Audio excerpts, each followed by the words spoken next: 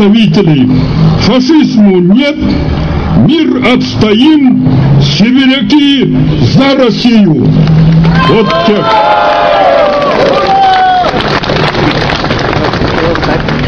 Мы выступление вообще закончили, и никто добровольно не идет.